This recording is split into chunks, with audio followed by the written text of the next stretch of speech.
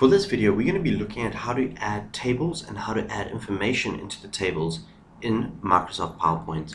So to do this, we go to our Insert tab, we select our table option, and I'm just going to insert, hmm, let's go insert new table because it doesn't give me the numbers I want.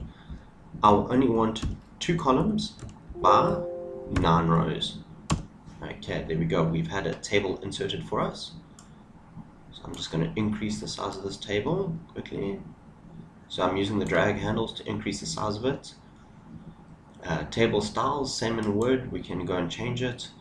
I'm going to change it to that themed style to accent 2. I'm going to switch off banded rows. Okay, there we go. And no, so I'm just trying to find a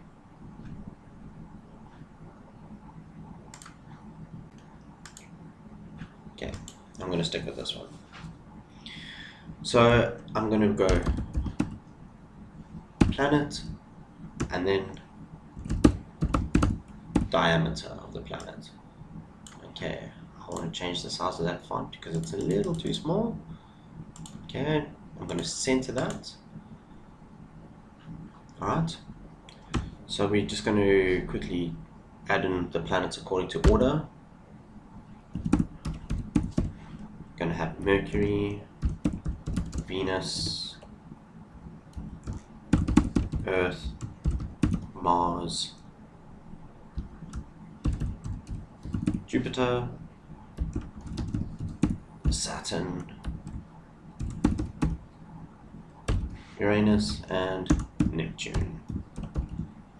Okay, I'm not adding Pluto in because I still don't know if it's been allocated as a planet again or if it hasn't been allocated as a planet.